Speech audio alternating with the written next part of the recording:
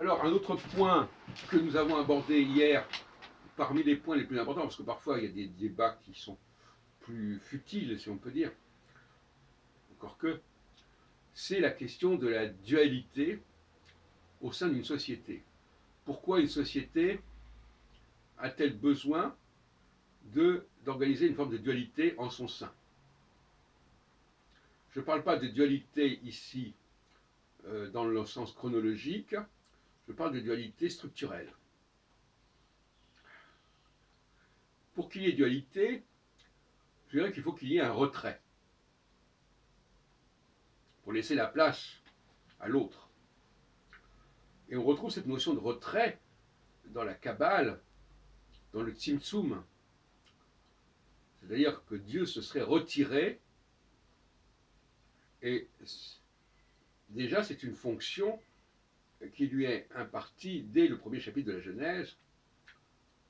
Si on traduit l'idée du masculin et féminin comme l'idée du retrait, qui va laisser un champ libre à l'autre. À l'autre.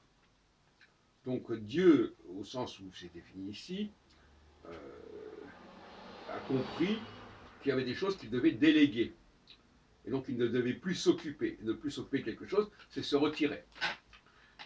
Euh, si on ne se retire pas, eh bien on ne laisse pas la place à, à une complémentarité, tout simplement.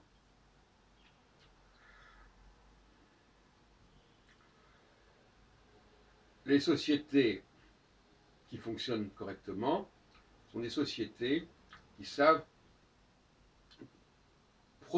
constituer deux, vitesses, deux sociétés, qui savent, se diviser en deux en quelque sorte.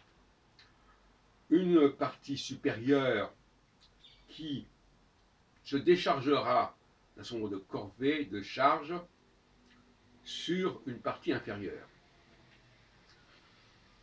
Par exemple, en France, il y a d'activités qui sont sous-traitées, on peut dire, euh, à des populations étrangères, immigrées, ou qui ont un profil euh, distinct, notamment sur le plan qu'on appelle racial.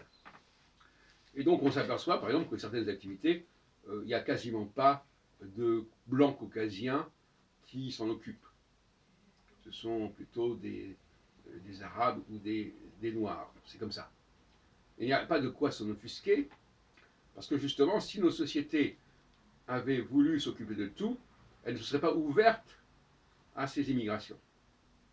On n'aurait pas fait appel à elles dans les années 70, par exemple. Donc il y, a, une espèce de logique à tout cela qu'il faut comprendre.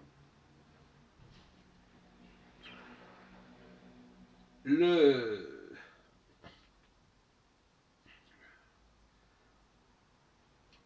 est nécessaire de déléguer aux machines, par exemple, parce que les machines font partie également de ce monde parallèle que nous libérons, que nous dégageons.